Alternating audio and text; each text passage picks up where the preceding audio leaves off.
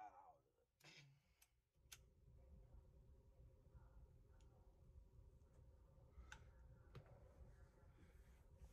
of. Alright. Grateful. Richard Key, A flat. Just about the whole thing. Shout out Curtis Cole. Prop 2003. Showed me some stuff about this song that just, I